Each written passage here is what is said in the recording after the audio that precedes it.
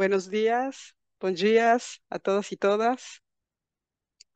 Bienvenidos a nuestro webinar Conjunto de herramientas para las políticas públicas de eficiencia energética en Latinoamérica. Soy Ana Lepure y estamos muy contentos de que nos eh, acompañen el día de hoy. Antes de empezar el webinar, eh, me gustaría decir que estamos grabando este, esta sesión, así que después la van a poder encontrar en nuestro sitio de la agencia, que con gusto les vamos a mandar un correo una vez terminada la sesión. Y también me gustaría comentar breve, breves puntos sobre la dinámica y la plataforma que estamos usando el día de hoy. Em, el webinar de hoy tiene interpretación simultánea, así que si desean eh, utilizar el canal en español o portugués, vamos a tener un breve mensaje en portugués más adelante. Pueden escoger en la parte de abajo de su pantalla en el icono de interpretación para que escojan español o portugués. También, por favor, si tienen preguntas eh, durante el webinar o comentarios también sobre políticas que, pueden ser interesantes para nosotros y seguir compartiendo, eh, en el chat de preguntas y respuestas pueden poner sus preguntas en español eh, o portugués o inglés. Vamos a tratar de manejarlas em, y sus comentarios en el otro chat. Muy bien. la breve agenda de hoy será palabras de bienvenida, la presentación de los paquetes de política y algunos ejemplos de las herramientas. Y como comenté, una sesión de preguntas y respuestas. Dicho esto, me gustaría pasar el micrófono a Samira Sousa, coordinadora general de eficiencia energética del Ministerio de Minas y Energía, que nos dará unas palabras de bienvenida. Muchas gracias por acompañarnos, Samira. Adelante.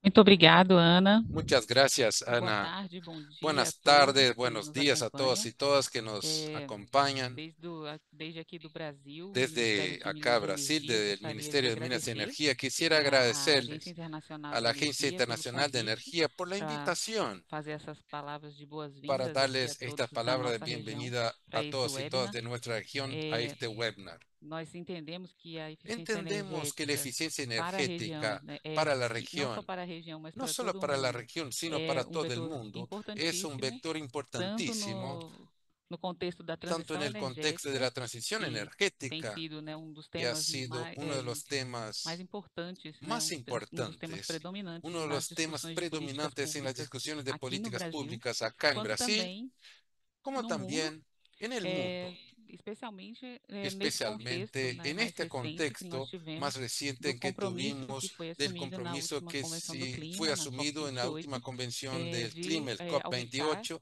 de incrementar tanto las energías renovables como la, eficiencia energética, el compromiso de triplicar la cantidad y capacidad instalada de renovables y duplicar la tasa de la eficiencia energética en el mundo. En ese contexto, por lo tanto, la herramienta, ese paquete de herramientas que se presentará hoy por la Agencia Internacional de Energía, que ya fue presentado en la conferencia global que sucedió en junio, y ahora más específicamente en este momento, en, en nuestro encuentro para nuestra región, es una herramienta esencial para apoyar a los gobiernos a participar de este avance, identificar sus oportunidades y los modelos que pueden servir para cada realidad, para el avance de la eficiencia energética. Entendemos que conocer a estas experiencias y los modelos de políticas públicas que ya fueron desarrollados y alcanzaron éxito será algo muy importante. Incluso esa herramienta hay que considerarse como es considerada como una de las herramientas importantes incluso en las discusiones del G20, que en este año está bajo la presencia de Brasil, especialmente en el grupo de transiciones energéticas que está coordinada por el Ministerio de Minas y Energía. Ya llevamos esas herramientas para discusión del grupo como una de las herramientas importantes, tanto en el ámbito de las prioridades del G20, ser considerada como una de las herramientas que apoyan a la planificación energética de los países y puede apoyar y hacer avanzar e identificar esfuerzos para la reducción de demanda, por ejemplo. Entonces será muy importante para la planificación energética de los varios países, como también para identificar opciones de inversión en transición energética. Entonces, todas esas herramientas del, eh, del paquete pueden permitir a los países identificar en sus eh, contextos que van a apoyar a las prioridades que el grupo de transiciones eh, energéticas de G20 ha discutido. Una vez más, quisiera agradecerles a, a, la Agencia Internacional de Energía para hacer el informe de esa herramienta volcada a la región de Latinoamérica. Y quisiera también mencionar que estamos con el apoyo de la Agencia Internacional de Energía en el ámbito del plan de trabajo que tenemos con ellos. Y estamos organizando una nueva edición de la Semana de Capacitación en Eficiencia Energética para Latinoamérica, que se llevará a cabo todavía este año en Brasil. Y Ana después nos dará más información, más detalles sobre ella uma organização bastante es una organización é, este, difícil, né? Muy difícil. É, bastante trabalho, que, mas é, para nós é um prazer. Mucho trabajo, pero para nosotros es un gran gusto. La última que é, toda, se llevó a cabo online, fue totalmente en línea, pandemia, en el contexto de la pandemia, y tuvimos esa experiencia muy interesante. Pero esperamos que este año logremos realizarla la, de nuevo la edición presencial. Muchas gracias, Ana y Federico, por la oportunidad de darles estas palabras de bienvenida y agradecerles en nombre del Ministerio de Minas y Energía y en nombre de toda la región por la oportunidad de conocer ese paquete de herramientas más volcada a nuestro contexto. Muchas gracias y buen seminarios a todos. Muchas gracias, Samira, por tus palabras y sobre todo por la cooperación y el compromiso que tiene el Ministerio eh, de Minas y Energía para trabajar en este tema tan relevante y trabajar con, con nosotros en nuestro plan de trabajo. Muchas gracias. Bueno, muy bien, pues pasando a la sesión del día de hoy. Hoy estaremos presentando a mi colega Federico Calioni, analista de políticas de eficiencia energética, y una servidora, Ana Lepure, también analista de políticas de eficiencia energética, ambos en la Oficina de Eficiencia Energética y Transiciones Inclusivas de la IEA. Eh, iniciaré yo y después pasaré la palabra a mi colega Federico. Hoy presentaremos en síntesis un reporte que publicamos, como ya dijo Samira, el pasado mes de mayo como apoyo a la novena Conferencia Global de Eficiencia Energética que se desarrolló en Nairobi, Kenia.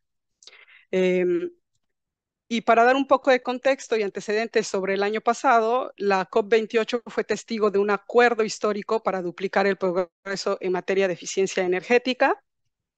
132 países firmaron el compromiso mundial en materia de energías renovables y de eficiencia y esto ha sentado las bases para este acuerdo político. Em, ¿Qué es el objetivo de duplicación y cómo se mide? Bueno, utilizamos la métrica de la intensidad energética primaria global, que es la relación entre el uso de la energía y el Producto Interno Bruto. La IA rastrea y mide los cambios de la intensidad em, global cada año y la tendencia que observamos es que la intensidad energética está disminuyendo, sí, a medida que la economía global se vuelve cada vez más eficiente. En 2022 vimos una mejora del 2% y este resultado es el que establece el contexto para el importante objetivo de lograr la meta de duplicar, la mejora de ganancias anuales y es tener mejoras de alrededor del 4% anualmente. Eh, ¿Qué tan factible es este objetivo? Bueno, por definición, duplicar el progreso es un desafío, pero la mayoría de los países a nivel global lo han hecho al menos una vez en los últimos 10 años. Y de hecho, la mayoría de los países en América Latina y el Caribe lo han hecho también alguna vez en los últimos 10 años y la, mitad lo ha hecho al menos tres veces. Tan solo en 2021, 10 países mejoraron su intensidad energética por encima de la tasa del 4%. El, objetivo es global, pero sabemos que algunos países están más cerca del umbral que otros. Hay diferentes situaciones nacionales y contextos económicos, lo que significa que cada país tendrá diferentes caminos para, duplicar, obviamente. ¿Y por qué duplicar? Bueno, es un paso fundamental en el camino hacia las emisiones netas a mediados del siglo. También en el escenario neto cero de la agencia, la mitad de los ahorros o de las emisiones evitadas provienen de acciones que ayudan a duplicar la tasa de progreso de la eficiencia. Hay reducciones significativas en las facturas de todo el mundo, ya que los consumidores de todo el mundo utilizan menos energía en vehículos, en hogares, en la industria. Y como también se necesitan más trabajadores para diseñar, fabricar e instalar las tecnologías eficientes de hoy y del mañana, pues vemos un incremento de 4.5 millones de empleos más al día de hoy. Y la buena noticia es que sabemos que las tecnologías y las políticas necesarias también ya existen. En algunos ámbitos, las políticas ya están cerca de alcanzar los niveles necesarios para el escenario de cero emisiones netas y en otros, la trayectoria está claramente trazada a través de actualizaciones y desarrollos anunciados. Por ejemplo, en la norma para vehículos eh, ya hay varios anuncios sobre eh, los niveles que se quieren alcanzar al 2030. Esto demuestra que las bases regulatorias de las políticas son necesarias, pero también sabemos que necesitamos elementos complementarios de políticas como la información y los incentivos para aumentar la tasa de renovación de equipos viejos e ineficientes todos los sectores, las mayores ganancias de la, de la, eficiencia energética se logran mediante un paquete de políticas que combinan tres tipos principales de herramientas y que estos vienen siendo los elementos esenciales del paquete. Es la regulación, la información y los incentivos. Un diseño y una implementación cuidadosa permitirán aprovechar todo el potencial de la eficiencia para mejorar la seguridad energética, crear más empleos, aumentar los niveles de vida de las personas, reducir las facturas de energía y, y reducir las emisiones también. Y al final, el paquete de políticas, lo que, lo que sucede es que se transforma en esto, ¿no? Es una, la implementación de este paquete se traduce en una eventual transformación del mercado. Aquí en el eje de las Y tenemos el número de equipos o de electrodomésticos, autos, edificaciones que existen en el mercado y en el eje de las X es el nivel de eficiencia energética que tienen estos equipos. Cuando se emite una regulación, eh, ayuda a mover fuertemente el nivel de eficiencia energética de los equipos. Y con las herramientas de información hacemos que el consumidor de estos equipos opte por niveles de eficiencia mayor, porque entienden cuál es el beneficio. Y entonces vamos incrementando el nivel de eficiencia de los equipos que están dentro del mercado. Finalmente, los incentivos hacen más asequibles y atractivas las opciones más eficientes, que generalmente tienen un costo inicial más alto por ser las opciones más avanzadas o más eficientes en el mercado. Pero también estos eh, incentivos nos ayudan a acelerar el reemplazo de equipos menos eficientes por más eficientes. Muy bien. En la agencia, como nos comentaba Samira, hemos desarrollado este paquete de políticas para diferentes sectores y tecnologías. No solo para estos cuatro sectores que vamos a hablar el día de hoy, pero también tenemos otros paquetes de políticas para ciudades, para tecnologías para cocción limpia, bombas de calor y también tenemos un paquete de políticas para financiamiento. Estas herramientas tienen por objeto ayudar e informar a los responsables de las políticas sobre los posibles paquetes que pueden utilizar para lograr esta duplicación de la que estamos hablando al 2030. Eh, en este caso, el reporte que hicimos nosotros es un conjunto de 12 diferentes herramientas. Eh, el informe, el reporte tiene obviamente a más detalle toda esta información. Nosotros estamos tratando de presentar aquí lo más, lo más eh, resumido posible con este tiempo que tenemos. Para cada una de estas herramientas podríamos pasar un seminario o una sesión de tres horas seguramente en el diseño, pero esperamos que en el futuro eso es lo que hagamos, ¿no? Sigamos con, con más sesiones como estas. Muy bien, entonces ahora le paso la palabra a Federico, que va a presentar los primeros dos sectores y después yo los acompaño para los otros dos. Adelante, Federico. Muchas gracias, Ana. Eh, y obviamente, como, como mencionó Ana, no vamos a llegar a cubrir todo lo que está en el, en el Policy Toolkit, así que los invitamos a, a descargarlo y, y, leerlo para, si quieren tener más información sobre lo presentado y también vamos a poner a disposición la presentación para que puedan leer todo lo que tampoco vamos a llegar a presentar porque el tiempo es limitado. pero bueno, vamos a empezar con el paquete de políticas de eficiencia energética para aparatos y equipos, o también lo conocemos como electrodomésticos. en principio tenemos, como mencionaba Ana, los distintos mecanismos, ya sea de regulación, de información y de incentivos, y dentro de estos tres tipos de, de políticas, eh, también encontramos una, una variedad de herramientas, de las cuales nosotros vamos a cubrir una de cada tipo, pero por ejemplo en regulación eh, se puede hablar de estándares mínimos, se puede hablar de regulaciones o limitaciones en la importación de equipos usados, eh, se puede hablar de otros tipos de regulación respecto al, a la gestión de demanda de los equipos. Eh, en caso de información, lo más común es el etiquetado, que es de lo que vamos a hablar, pero también eh, existen, eh, bueno, medidas como las campañas y, educación, para que el público tenga más información respecto al uso de la energía. Y en cuanto a los incentivos, vamos a hablar de los descuentos y créditos pero también hay otras medidas financieras, hay tipos de, distintos tipos de tarifas para, eh, para promover el uso eficiente de la energía. Eh, hay, por ejemplo, listas de productos o premios para promover la mejora en la eficiencia en general y la mejora en las compras de equipos eficientes. Y esto todo lo, pueden encontrar también en, nuestro, en nuestra descripción de los paquetes de políticas. Vamos a la siguiente. Eh, Comenzando por la regulación, los estándares mínimos lo que hacen es establecer un mínimo de eficiencia para los equipos que pueden ser comercializados en el mercado y esto tiene un efecto inmediato en lo que es los productos que están disponibles, ya que al eliminar los productos más ineficientes, la eficiencia promedio del mercado aumenta directamente. Eh, esta es una de las medidas más comunes y ya se encuentran en al menos 115 países y en general se pueden encontrar en eh, equipos de iluminación, eh, en refrigeradores y acondicionadores de aire, pero también en muchos otros como televisores eh, o microondas, dependiendo de los distintos países. los pasos a implementar, vamos a hablar primero más detallado en este caso, pero en los, en los siguientes son bastante similares, así que no, no me voy a pausar en, en los otros, quizás. Eh, pero bueno, para comenzar, se requiere una evaluación técnica para entender cuáles son los equipos que consumen más energía eh, dentro de, nuestros hogares.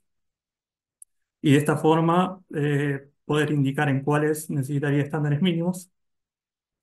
A partir de esto se desarrollan normas técnicas para, para estos equipos de forma tal de determinar eh, de forma estandarizada las eficiencias y los consumos de energía y poder compararlos. Eh, y luego se pasa a la regulación técnica y a la implementación, en el cual se determina un estándar mínimo, es decir, el mínimo de eficiencia que deben tener los productos. Y a partir de, una vez que esté implementado, eh, se pasa a la evaluación de conformidad, que es eh, hacer un seguimiento del mercado y verificar que los equipos disponibles cumplen con eh, mi estándar. Luego de ciertos años de implementación, se debe actualizar para eh, acompañar a lo que es el desarrollo del mercado y, que, y lograr que no todos los equipos superen mi estándar mínimo de vuelta. Vamos a la siguiente.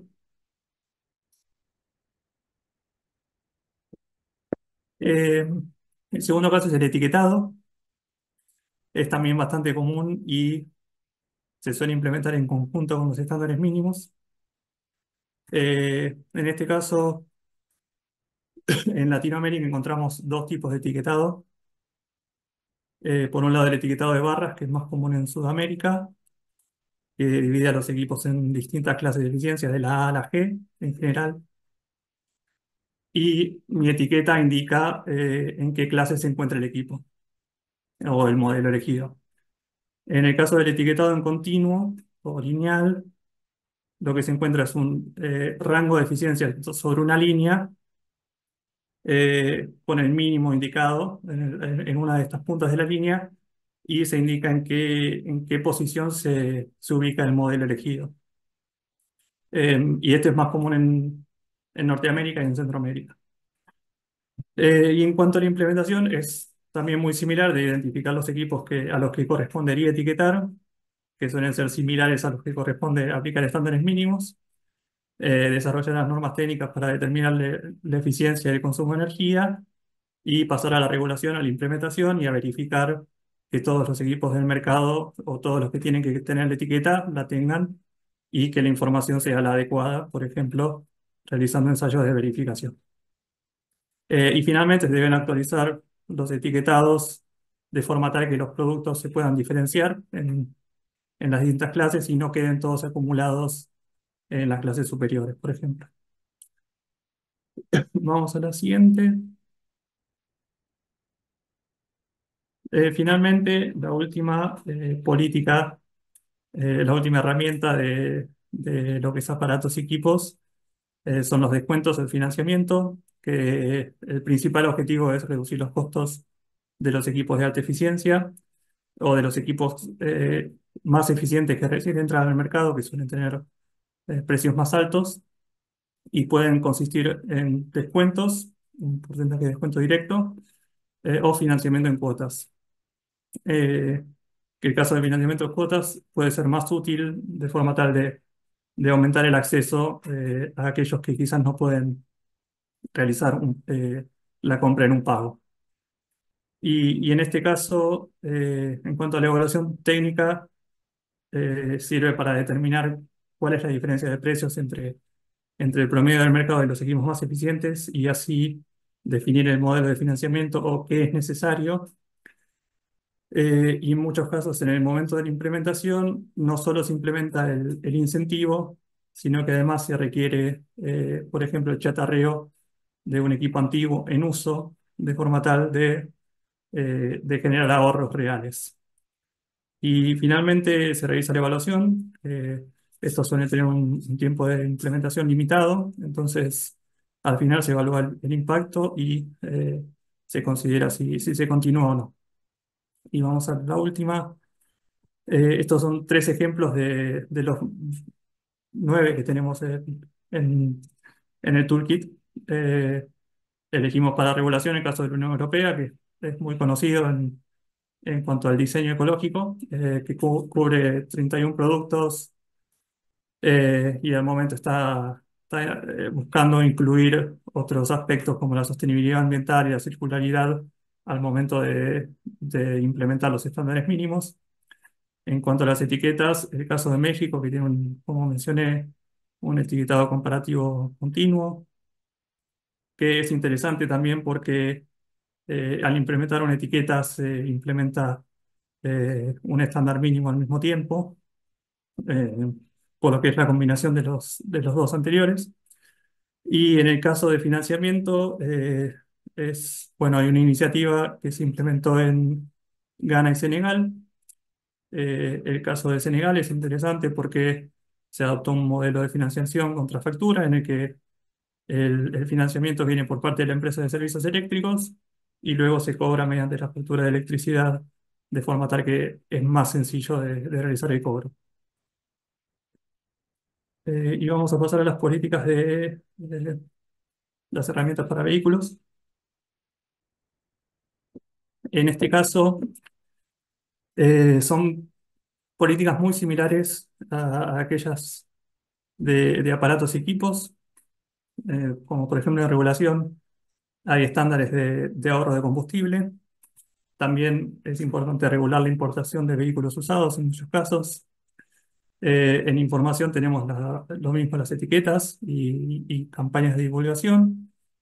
Y en incentivos a su vez hay eh, descuentos, subsidios, eh, puede haber tasas de financiamiento o distintos tipos de descuentos eh, en, tasas u otros impuestos. Y vamos a la siguiente. En la regulación, la medida que la herramienta que elegimos para, para este programa es, son los estándares de eficiencia o estándares de ahorro de combustible, que son similares a los MEPS, pero la diferencia es que no se prohíbe la venta de los vehículos ineficientes, sino que lo que se requiere es que el promedio de ventas esté, que la eficiencia del promedio de ventas esté por encima de un valor, por lo que se pueden seguir vendiendo vehículos ineficientes, pero en general del total de vehículos que se venden, eh, la eficiencia tiene que ir aumentando. Eh, entonces, a su vez, lo que se puede hacer es eh, implementar nuevas disposiciones de forma tal que, por ejemplo, vehículos eléctricos se puedan contabilizar por duplicado. Entonces, es más fácil de, llegar al promedio de eficiencia más alto si se pueden contar por doble ciertas ventas. Eh, y la implementación es eh, también similar a lo, a lo mencionado anteriormente en caso de, que hay que determinar qué parte del mercado, qué vehículos se le va a implementar en los estándares de eficiencia. Si, si conviene comenzar por vehículos livianos, vehículos pesados, eh, luego determinar cómo se calcula el, consumo de energía o el consumo de combustible, qué, tipos de ensayos se realizan y obviamente llegar a acuerdos con eh, fabricantes e importadores para poder determinar cuál es la eficiencia que se puede lograr en, los próximos años y eh, establecer estándares de eficiencia a mediano y largo plazo. Y obviamente también actualizar la medida que, se, que va evolucionando en el mercado. Y la siguiente. En cuanto al etiquetado de vehículos, es obviamente muy similar a lo que es el etiquetado de eficiencia energética. Eh, eh, y también la principal diferencia quizás es que eh, las etiquetas pueden incluir otros parámetros como el caso de las emisiones de, CO2, que es muy común, o de otros contaminantes. También se puede implementar el etiquetado en, equipos usados, en vehículos usados, o de segunda mano. Eh, y en, cuanto a la implementación, eh, también se deben establecer cómo se calcula, cómo se determina el consumo de, de combustible de los vehículos, qué vehículos van a llevar la etiqueta y si, por ejemplo, vehículos eh, a combustión interna y vehículos eléctricos van a llevar ambos una etiqueta o van a llevar etiquetas separadas o cuál es etiqueta primero. Eh, y luego en el diseño puede incluirse como principal parámetro las emisiones, si es como con vehículos de combustión interna o de eficiencia si se compran distintos vehículos. Y obviamente incluir capacitación y divulgación para que eh, los compradores eh, conozcan la etiqueta y también los vendedores puedan guiar a estos.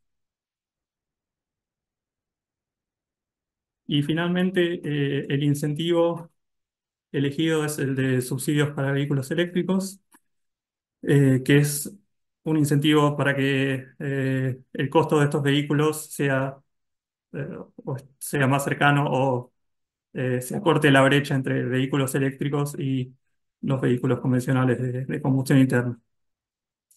Eh, y obviamente acelerar la adopción de, vehículos eléctricos.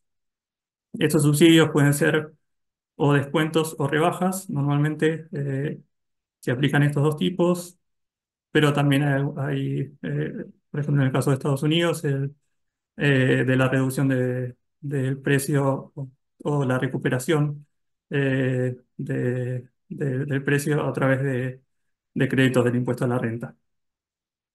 Em, y el objetivo principal en este caso es identificar cuáles son los modelos eh, ofrecidos en el mercado, cuáles son los modelos de vehículos eléctricos que podrían ser sujetos de un beneficio em, y también cuáles serían las personas eh, que pueden recibir este beneficio. Pueden ser eh, también para personas particulares o para empresas o vehículos privados o taxis, por ejemplo. Y dentro del diseño del programa también se debe definir cuáles son las características del vehículo eléctrico que se puede llegar a financiar. en general se limita el, el, precio, se pone un precio tope para que no se financien vehículos de alta gama, por ejemplo. y últimamente también se, están implementando límites al peso o al origen de, de las partes del vehículo. Y siempre en estos casos se incluye un periodo de ajuste en el que se puede comenzar con un, con un descuento, un subsidio elevado, y a medida que, el, precio o la brecha de, los costos se va acercando, se van reduciendo los, los subsidios hasta que se, se descontinúan. Y la siguiente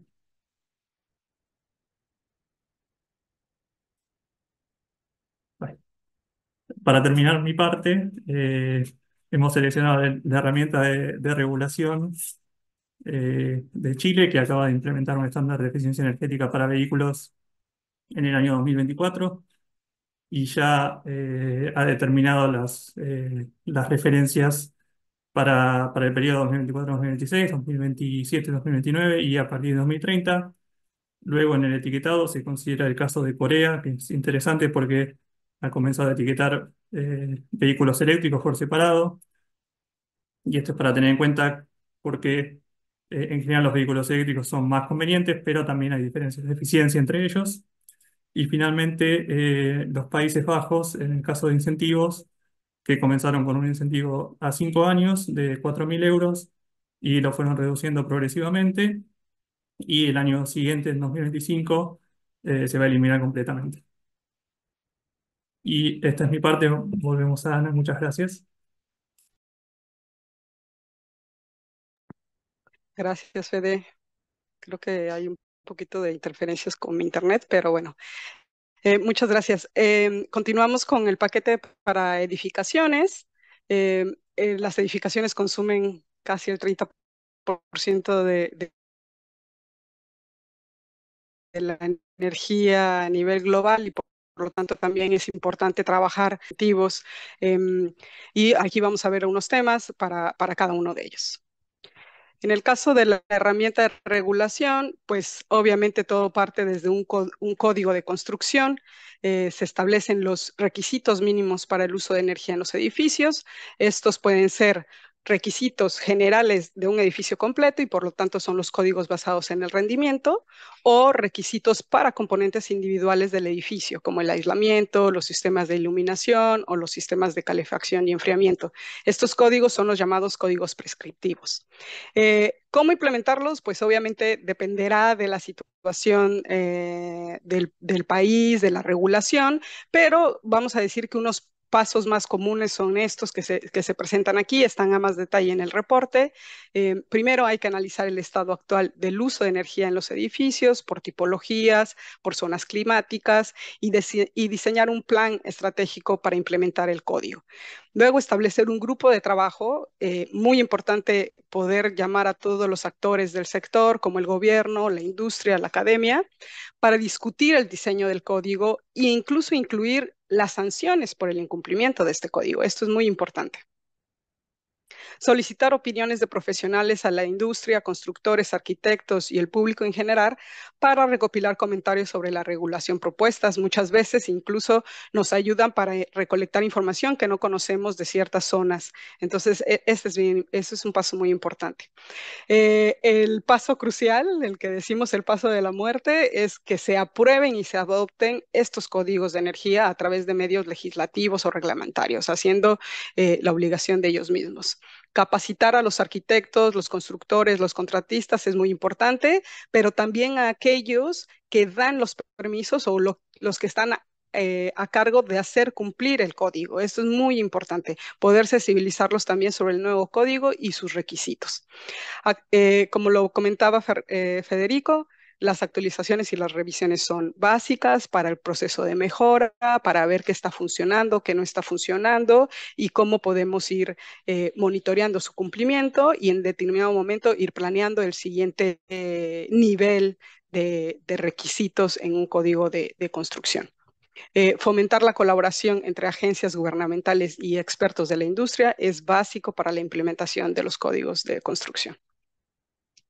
En el caso de la regulación, bueno, del elemento de información, bueno, tenemos los certificados de eficiencia energética, hay varios en, la región, a nivel global también.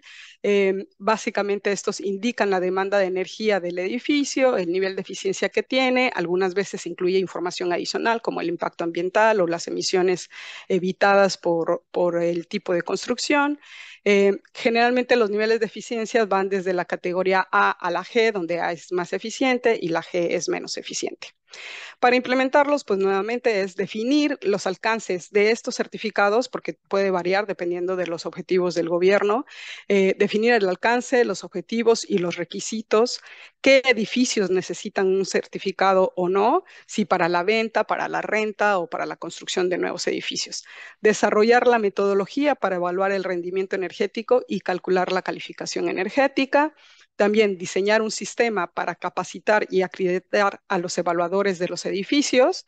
Eh, esto es muy, muy importante para la credibilidad de los mismos certificados, ¿no? Que si hay gente competente evaluando eh, em, los requisitos. Implementar el sistema para emitir los certificados que incluya inspecciones y análisis de datos y recomendaciones para las mejores energéticas. Además, crear una base de datos para ir registrando y gestionando la información de los certificados. Esto, la verdad, funciona muy bien, como decía, para futuros diseños de políticas públicas. Crear procedimientos de verificación como inspecciones aleatorias o auditorías y también definir las sanciones de incumplimiento. Sensibilizar a los propietarios, compradores e inquilinos sobre la eficiencia energética y los certificados, qué información te dan ahí, es muy importante porque entonces definirá su, decisión de compra, renta o lo que sea que están haciendo con esa edificación. Y finalmente, revisar y actualizar regularmente las normas y los métodos para reflejar estos avances tecnológicos que van apareciendo y también lo que funciona o no funciona, incluidos los precios de energía y otros factores relevantes. En la sección de incentivos, en este caso pusimos el ejemplo de las subvenciones para, la, para el retrofit, para las renovaciones energéticas. Son apoyos económicos que se dan para reducir los costos iniciales, más básicamente como para adquirir equipos más eficientes, pues también para hacer la, eh, renovación em, de las edificaciones y hacerlas más atractivas financieramente y viable para los consumidores, constructores o promotores. Em, los pasos básicamente es definir metas sobre cómo reducir, eh, cómo reducir el consumo energético y las emisiones algunas veces también se, pueden eh, poner ahí, o eh, el objetivo de hacia quién está dirigido el programa, si apoyar hogares vulnerables o a pymes, dependerá otra vez cómo se define y qué quieren hacer, y las metas que deben, que deben alcanzar que sean específicas y medibles. Determinar quién puede aplicar a este programa, si tienen que ser propietarios de la vivienda o si pueden ser alguien que renta eh, o a negocios. todo tiene que estar descrito de forma clara, como dice el siguiente, que es describir los criterios de la agilidad. Lo que hemos visto que es entre más claro y simple, entonces es, eh, el, programa tiene más penetración, se puede decir. Que, y también lo mismo si ahora se utiliza que sean acceso en línea, pues también eso es, eh, es todavía aún más em, eh, hace que más gente pueda, pueda ah, tener esta información. Em, definir los criterios para aplicar, incluyendo qué tipos de renovaciones se pueden incluir o no, los ahorros energéticos y cualquier certificación relevante que tal vez tengan que tener primero para poder tener acceso a este apoyo económico. Em, es muy importante que quien define este programa, quien está a cargo, establezca un presupuesto claro para esta subvención, identificar sus fuentes de financiamiento y asegurar los fondos. Pueden ser inversiones privadas o asociaciones público-privadas o fondos gubernamentales. Designar un equipo o agencia responsable dentro de la administración es muy importante, eh, que puedan procesar las solicitudes, otorgar los incentivos, supervisar el incumplimiento. Es no solamente es diseñar el programa, sino pensar en todo la estructura que vamos a necesitar para implementarlo y supervisar. Promover el programa y sus beneficios al público objetivo mediante la web, redes sociales o eventos comunitarios. Y finalmente, seguir con este proceso de monitoreo y evaluación que nos permita hacer ajustes y poder tener mayor y em, em, recibir mayor impacto de la implementación de este programa. Em, los ejemplos que tenemos aquí, hay otros ejemplos, como dijo Federico en el reporte, pero para el caso de los ah, códigos de construcción tenemos el ejemplo de Nigeria. Eh, este está interesante porque el código básicamente se basa en estrategias de diseño bioclimático, o sea, es decir, evitar primero el consumo de la energía a partir del diseño, del diseño bioclimático. Eh, se han calculado que solamente siguiendo estos eh, requisitos se pueden reducir hasta 40% del consumo de energía comparado con la, forma tradicional de construcción en este, este momento en, Nigeria, pero que aparte, si se combinan el diseño bioclimático con envolventes térmicas o sistemas eh, o equipos de alto rendimiento o de alta eficiencia, los ahorros pueden ser de hasta el 75%.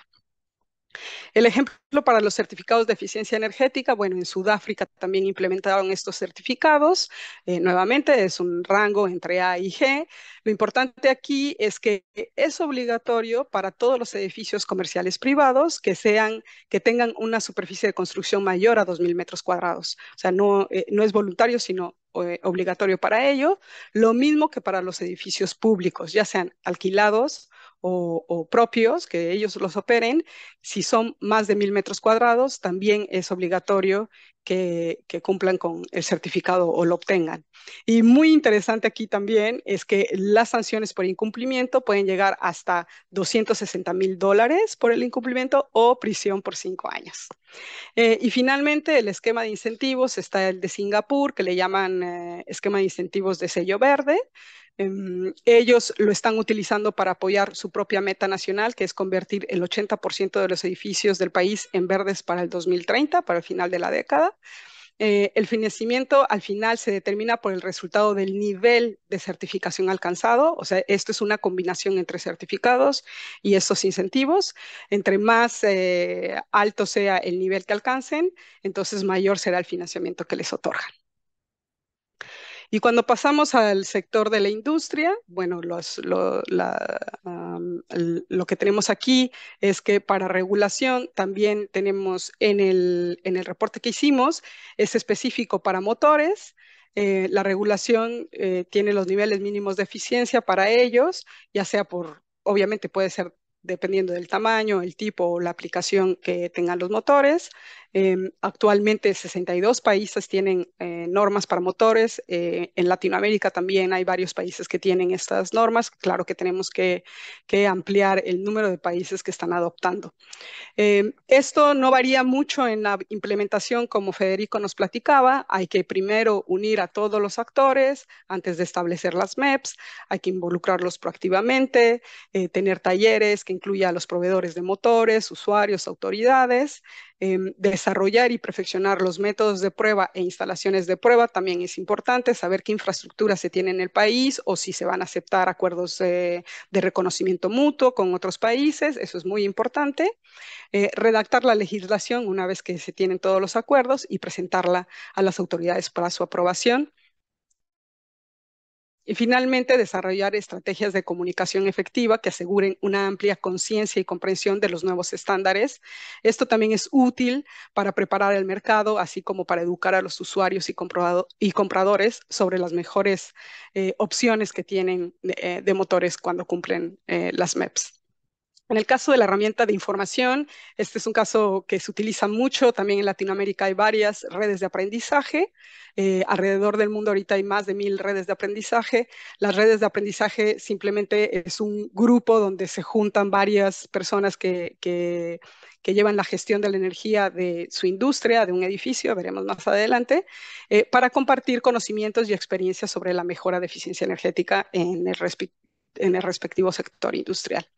Eh, es muy importante identificar a un experto o experta de la industria para facilitar el intercambio.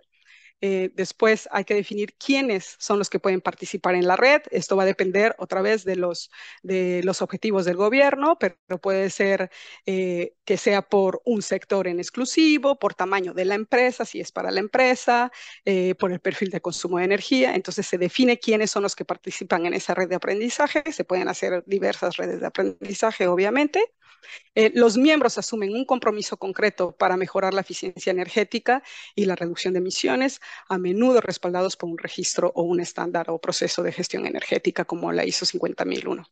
Se crean grupos de trabajo especiales o áreas de enfoque para compartir estas experiencias y desafíos y cómo ellos, cada uno de ellos, han podido enfrentarlos y solventarlos.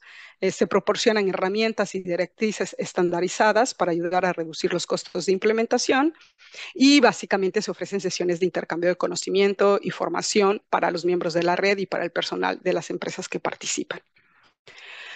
Eh, y la última herramienta que es la de incentivos es la de obligaciones de eficiencia energética. Son esquemas, em, son instrumentos regulatorios que requieren que las partes obligadas que generalmente son los servicios públicos de energía, las compañías de ventas minoristas de energía o distribuidores de energía, eh, cumplan con objetivos de ahorro o de energía o de emisiones dentro de su cartera de clientes.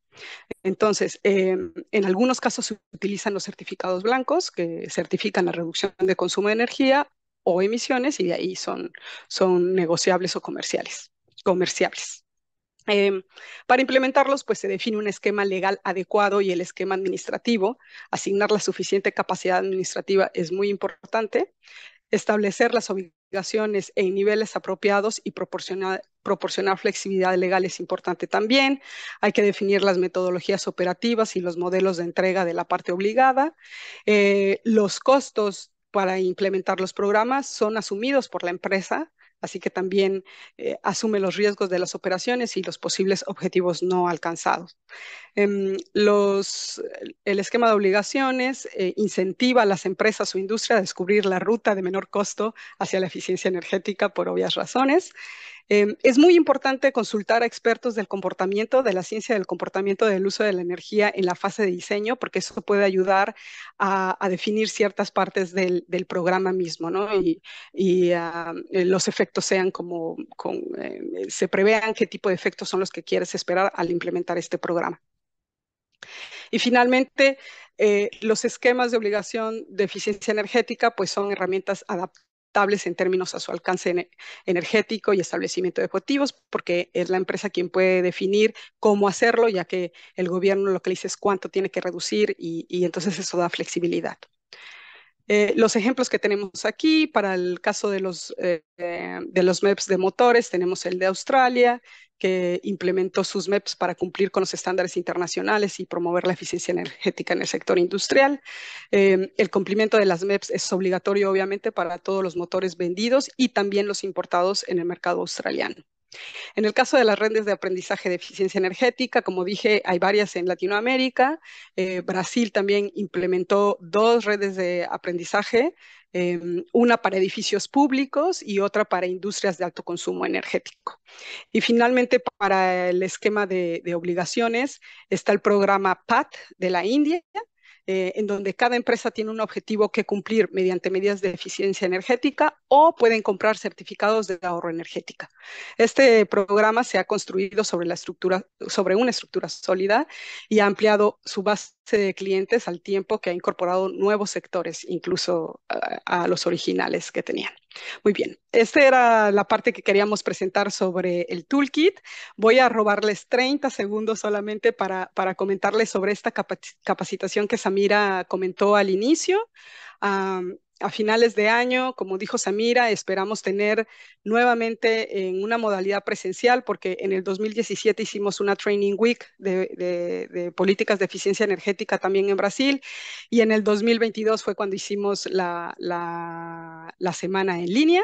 Eh, estamos esperando tener este año presencial, van a recibir pronto información sobre cómo poder aplicar, qué cursos son los que vamos a dar para que también puedan eh, escoger el curso que quieran aplicar. La semana de capacitación no tiene ningún costo, sin embargo, los participantes tendrán que cubrir sus gastos para poder ir a, la ciudad de Sao Paulo, eh, sus vuelos y lo mismo su hospedaje. Pero bueno, pues muchísimas gracias, gracias y obrigado. Si quieren, pasamos a lo que nos queda de tiempo, a resolver algunas preguntas y respuestas. Federico, no sé si estás por ahí. Sí, no nos queda mucho tiempo. Eh, una pregunta dirigida a, vos, Ana, si te parece. Eh, la pregunta dice, que se mencionó eh, sobre países que cuentan con redes de aprendizaje en Latinoamérica. Eh, se puede ampliar cuáles son. Y bueno, en general, eh, algo más sobre las redes. Sí, sí, como platicábamos, bueno, Brasil tiene estas redes, pero lo mismo lo tiene México también. Sí, perdón, me adelanté. México también tiene redes de aprendizaje. De hecho, creo que es uno de los países que tiene mayor experiencia desde de la implementación. Ecuador, Colombia, también Chile y Argentina, obviamente, también tiene redes de aprendizaje. En el caso de México, incluso tienen manuales sobre cómo entrenar al experto que facilita que facilita la red de aprendizaje. Muy interesante, si quieren podemos compartir más información de esto. Eh, y además lo importante también de las redes de aprendizaje es que al final no solo es para el sector industrial. Los gobiernos lo pueden utilizar para diferentes sectores, para el bombeo de agua, para edificios públicos, para hoteles, para, para hospitales. O sea, hay una gran gama del uso de las redes de aprendizaje. Em, tengo, bueno, veo también acá otra pregunta para ti. ¿Qué otros incentivos se pueden implementar para promover los vehículos eléctricos? Mm. Eh, Sí, eso lo podemos encontrar también en el, en el paquete de políticas que, que recomendamos, pero en general, bueno, están los incentivos que ya mencionamos, que son los, los descuentos en general, eh, pero también existen descuentos, por ejemplo, en, tasas de importación, o muchos de estos, bueno, que fueron eh, aplicados en conjunto en Noruega, que es el, eh, el principal caso de estudio, pero no están similar a, a Latinoamérica, eh, pero se implementaron varias políticas en conjunto en cuanto a, por ejemplo, descuento en, estacionamientos o exenciones de tasas de, de, importación o de pago de IVA o también en, en peajes en rutas y muchos otros descuentos que no solo contribuyen a, disminuir el, costo o el costo de venta, sino también eh, a disminuir el costo de, uso del vehículo. Bueno, eh, de una vez leo aquí una que también tiene sobre industria otra vez, también que qué países tienen o qué niveles hay de eficiencia energética en los motores en Latinoamérica. Eh, también de lo que sabemos, de momento seguramente hay más países, lo podemos checar, pero eh, sabemos Brasil, Colombia, México, Panamá tienen niveles de IE3, es eh, premium. Eh, Chile tiene IE2, High Efficiency. de hecho, estos países han estado trabajando para construir un una, como una hoja de ruta regional para incrementar el nivel de eficiencia energética en motores, en electrodomésticos. Y bueno, ahí se habla mucho del caso de motores. Lo podemos también compartir esa información. Y yo quiero abordar una pregunta final dice, eh, con una matriz energética como la Argentina, con un 58% de generación eléctrica con centrales térmicas, consideran que la electrificación es la solución. Eh, en general, para lo que es Latinoamérica. Eh, la región tiene una de las matrices de generación eléctrica más limpias del mundo eh, y ya sea incluso con, con, la matriz de generación eléctrica de Argentina, que es eh, lo, que es fósiles con gas, en general la electrificación provee, grandes ahorros y, un gran incremento en eficiencia y sigue siendo conveniente comparado con los vehículos a combustión interna. Muy bien. Eh, Samira, perdón, ¿tenías algún comentario o no? Bueno, pues el tiempo se nos ha acabado, pero podemos dar seguimiento a todas las preguntas que fuimos recibiendo. Muchísimas gracias por las preguntas y también por todos sus comentarios en el chat. Eh, no comenté, pero sí, la presentación va a estar, eh, tanto el video de la sesión como la, presentación va a estar en línea. Enviamos un correo el, día de mañana en seguimiento o hoy mismo en seguimiento a, este, a esta sesión. Pero bueno, les agradecemos a todos. Samira, muchísimas gracias por acompañarnos. Federico, muchas gracias. Gracias a todos por participar. También quiero dar gracias especiales a Etienne y a Lisa Marie que nos ayudaron a organizar todo este webinar. No se ven, pero su trabajo se ve aquí. Y también al traductor, muchísimas gracias. Les deseo un buen resto de día. Muchas gracias a todos. Hasta luego. Gracias.